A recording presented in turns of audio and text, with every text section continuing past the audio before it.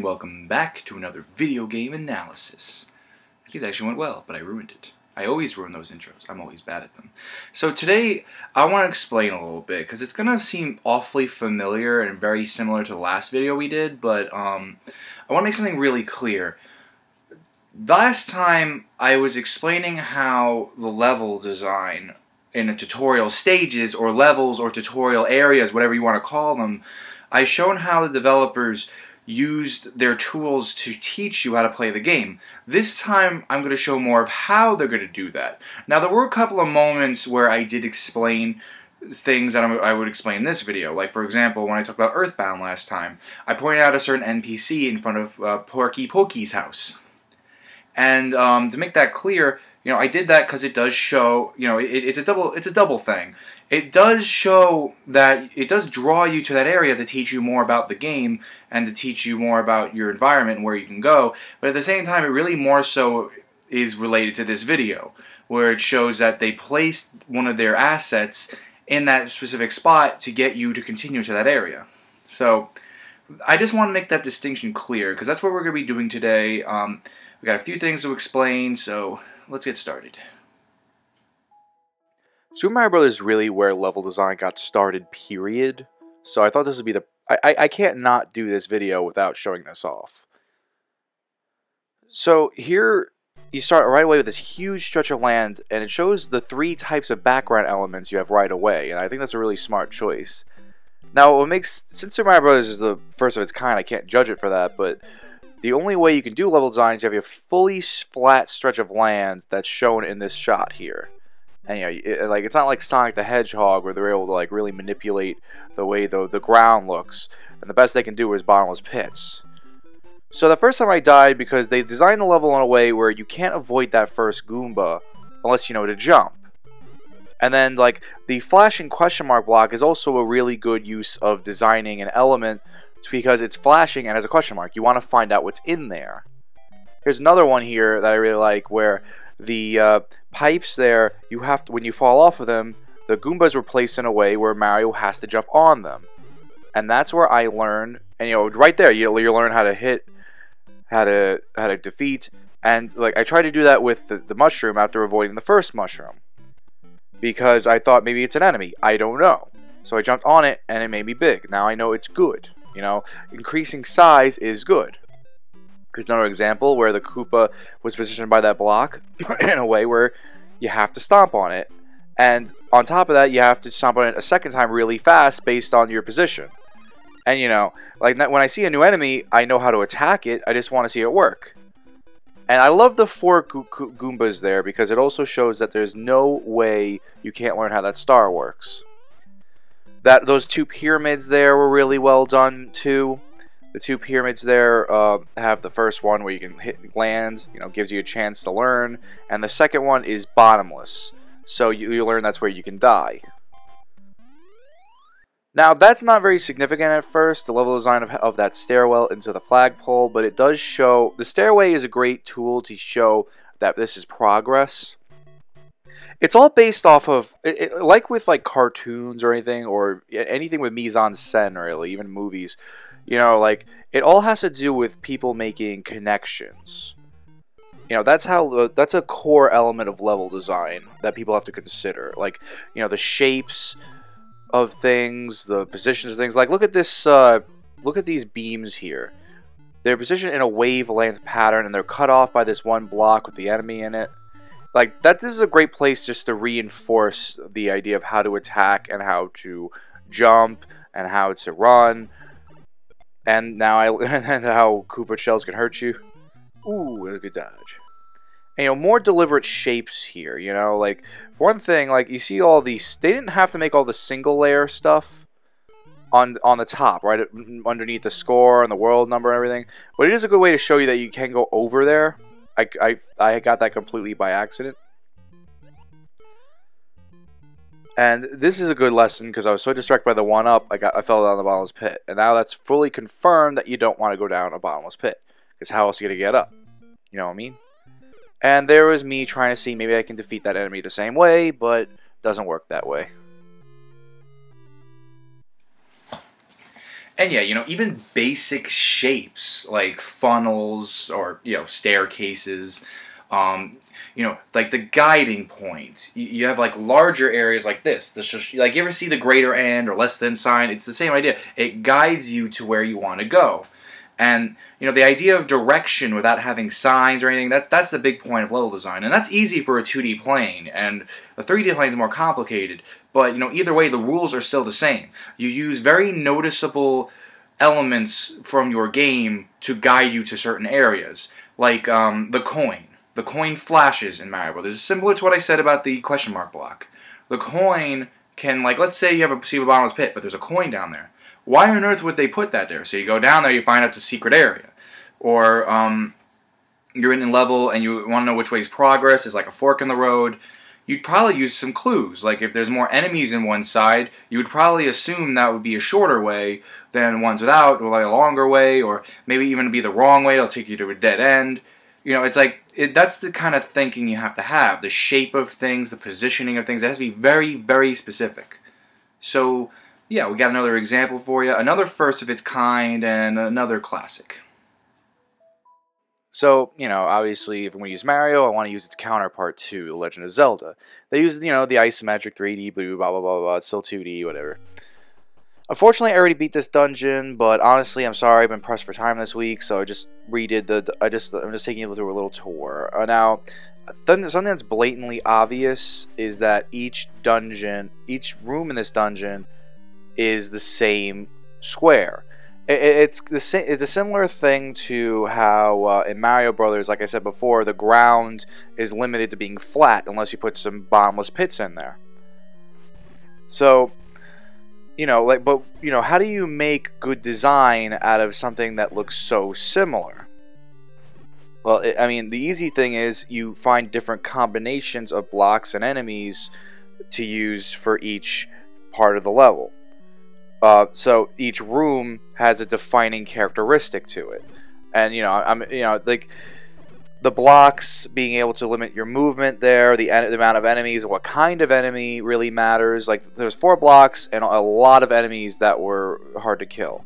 Now there's four blocks towards the middle more, and it gives me more maneuverability around the the edges. And I had more enemies, tougher enemies to kill, but there were a lesser amount. This I think was really cool and it's a staple for Zelda, but I think it's really cool that they pulled this off on a NES, right? Um, I mean, you have to think about the Atari days, where yeah, that door opened after I defeated those enemies. It locked me in. It shows that it's a, a significant point of progress. That one block looks ah, that one block looked uh, suspicious. There's only one. Usually, there's an even number. So trying to push it, you know, it's a little it's it's little context clues like that that really matter in level design games like this. And yeah, there is always the argument that the original Zelda is a little more cryptic than anything else. But I I I usually agree with the camp that say they do give you a good amount of like you just have to have the right mindset, you know? Like the missing door on the bottom, you would you know, it might be a bombable space. You know, it, it, it doesn't follow the characteristics that other ones do. The other rooms do. You know, there's this you know what? It's like something I failed to mention with uh, the goalpost in Mario is and uh, is the fact that the goalpost is a consistency. You know that consistency helps you understand where secrets are. You know, you break that consistency, and then everything falls apart. You know, and like speaking of that, the next bit I'll have will really show you what I mean with that. But consistency is very important because it shows you how you can make re regular movement, but then it also lets you explore into new areas. So our next example will be uh, a, more recent game. Uh, it's gonna be a 3D game. Uh, but you know, something to make clear is this is an example of a level I did not like that I felt had poor level design, but it wasn't incorrect level design at the same time, and I'll explain what I mean by that in a bit. But um, you know, the big point here is that level design is tricky. It's it's something people go to school for. It, it's not something you can just do. Like what I like about Mario Maker is you know it lets people explore level design, and I actually love when um, and people mention it too on Mario Maker. They mention that hey, I am a level design student, and you get to see the creative things they do.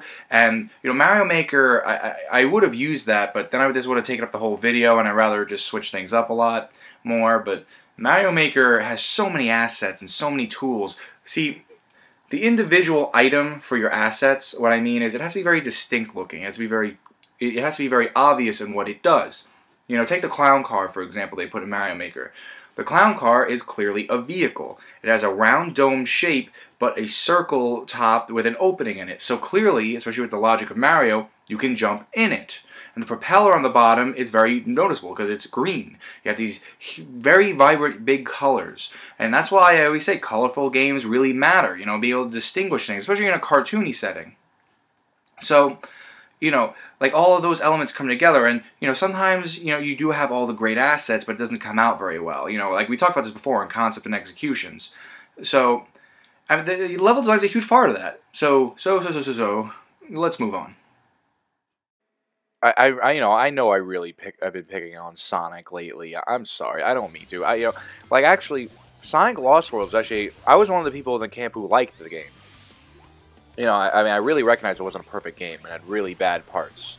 Like for example, this level I hate. I, I this is one of the few levels in this game. Like there are a few more I, I probably don't like more, but this is the first point of the game, and it was only World Two, which was troubling, where I said God, when is that level gonna end? It's so boring. It, it, it's it's so hard, easy to die. Like it's ridiculous. And the thing is, it's yeah, it's it's gonna explain something as something simple. It's flat and huge. You know, it doesn't compress you into a certain area. Like Sonic Lost World has this huge motif of tube levels where you have narrow passages and when they try to open that up into a more flat world, it's it, it just feels boring and there's too much space. And I can see the developers had good ideas and they tried, and I'll show you some examples of that. They tried to make things more varied, but it just didn't work out. You know, I'm trying to do something fancy. Yeah, I'm like, then I'm like, ah, forget it. And yeah, they give you choices here. That's really good. There are really good ideas in this level. Like, the 2D sections are definitely a little better, but, you know, they should have refined Sonic a little more when it comes to the control department. Because, you know, you'll, you'll see it a thousand times. I keep slipping off platforms. You know, I abuse that double jump, but sometimes it hinders me. And, you know, like, it, it really does show off. You know what it is? It's like, it shows off the how the parkour works this section, but it, they didn't do it in a way that's very effective or fun. Like, um, you know, it's like i i used to be a music major, and part of that was we had to write sections of music that shows we understand a concept. So you take voicing for example, you know the ways the voices come together without, you know, and you had rules. We were following a classical style. So it's like the way the voicings, all the all the notes come together to make a like multiple melodies going on, make harmony. So we were doing that, and you know, I made an example that perfectly followed the rules, and I knew it didn't sound good. And my professor said, "Yeah, you know, you did a good job. It doesn't sound very interesting at all. It sounds boring, but you got it right." That's exactly what this level design is. And you know, the thing with Sonic Lost World that got it wrong was there was a, there's a huge lack of consistency in this game, and I, I know they were trying to do that. I know they wanted to make the game in a way where there's a lot of things to do and a lot of ways to show off this parkour system, but you know this is not what happened when they introduced the boost formula. You know, like uh, if you wanted to show off a new formula, you should have a lot more consistency, and I probably would be better at these controls if I had that more consistent th- consistent thing, and you throw in some like parts of the level where it would challenge my skills a little bit. And in all fairness to Sonic Lost World, they do do that with red rings and whatnot, but this level, like you can see it, they give you choices on where to go, but it's flat and it's huge, and all this space is open, and, and you know they try to fill it with those patches of dirt that slow you down, but it's like it point of Sonic is to speed up, so it kind of takes away something that's you know kind of necessary to make the game fun. No matter what, you're going to have a mindset. If it's a character that's been well established, you're going to have a mindset of what you want to do with that character and how you're going to control that character. All new gameplay aspects is just what makes it fun to play. You know, it makes it so you have whole new level ideas.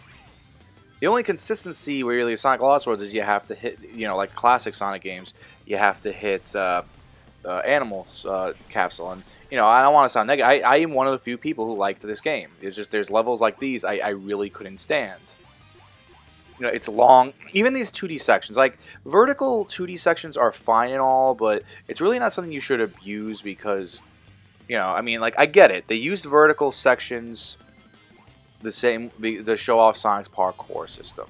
You know, I really I do get it, but again, that brings back the argument that yeah, you did it to show it off, but it's not in you know it doesn't it's it's not something you would use in a professional like if this level was made for a classroom if some kid made this level so he can graduate uh, a level uh, game design school or whatever they say okay you passed you know this look level looks good you have a lot going on here you know here's an example of what I'm talking about you have like like it doesn't look interesting it's huge it's flat you have these little you have to stick to a very constricted area and what sense does that make you know, like why would why would you make a huge area but make constricting little parts? Like yeah, it's your choice which part to go to. Like you have a lot of lefts and rights and forwards here, but it's still like no, you know.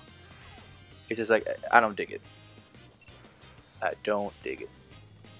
So yeah, you get again. You know, I'm gonna I'm gonna say this one more time. They give you the choices here.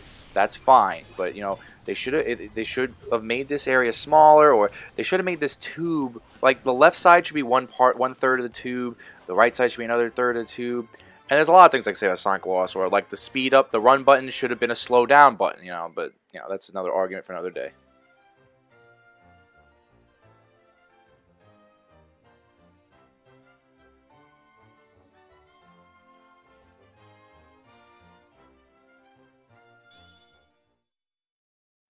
So yeah, you know, like there's a lot of things that go on, and I know I barely scratched the surface when it comes to level design, but I, I think I've given you guys a good basic overview. The big things is you need some consistent patterns that create the identity of the game you're playing. And you need to be aware of the kind of environments you're creating and how to make that interesting. And another example I could have used other than Mario Maker, which is great, you know, that's perfect. It actually lets you explore level design. It lets you figure out, oh, this is hard to other people because I know all the answers. I know how this works. Maybe I should refine this so it's a little simpler people understand. It, well, another example I would love to use, but we would have too many bits, is Kirby. And I used that last time, so it wasn't worth it. Because Kirby, you know, it's an easy game, but they design the levels in a way where it's really fun. And, you know, it shows that difficulty is, you know, it doesn't matter. And then there's Mega Man. There's another example I would love to use, because that level design is very difficult, but it's still fun, and it doesn't get you easily killed like it does in a game like Sonic Lost World in that certain level. So, yeah, next time then, I think we're concluded here. Next time, um, I've been picking on Sonic too much, so I want to do an, a, a, positive look into Sonic. We're actually going to look into, I, I, think it's something that's overlooked at, but it is, I mean, people recognize it, but I think it's something that's not directly talked about, is how Sonic, the character, like let's pretend he's a real life character, how he learned and developed his abilities over time. And, you know, there's a lot more to it than you would think, so next time I'm going to look into that. I liked my attitude today. I was like, yeah.